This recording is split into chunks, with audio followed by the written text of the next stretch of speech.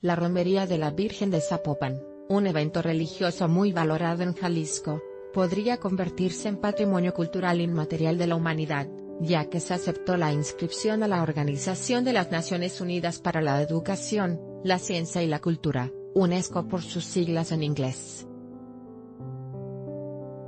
De acuerdo con el presidente municipal de Zapopan, Pablo Lemos, posiblemente para diciembre de este año, la Asamblea de la UNESCO podría estar discutiendo el tema, así como su presunta aprobación, esto nos permitirá darle certeza a través de los años a esta gran tradición religiosa, cultural, social, que tenemos en la romería de Zapopan. Asimismo, Lemos informó que personal de la UNESCO ha ido al municipio por lo menos en 10 ocasiones, con la finalidad de conformar el archivo de inscripción de la categoría.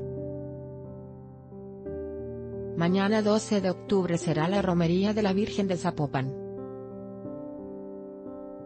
pic.twitter.com barra 10wtqpx9, yo Guadalajara tm, arroba teamoxl, octubre 12, 2015 Lo anterior lo dio a conocer por medio de una rueda de prensa que se hizo este jueves 4 de octubre, cuando estaba hablando sobre el operativo de resguardo para el evento religioso. Al respecto, se notificó que durante la noche del 11 de octubre y la madrugada del 12, la ciudad de Guadalajara tendrá ley seca por 14 horas, medida que también tomará Zapopan, aunque solo para expendios de bebidas alcohólicas, ya que los restaurantes sí están autorizados para vender vinos, licores, cerveza y demás, siempre y cuando haya consumo de alimentos. En esta edición, la romería tiene como objetivo rezar a la Virgen de Zapopan, y a Dios por los jóvenes y la paz de Jalisco, México y el mundo.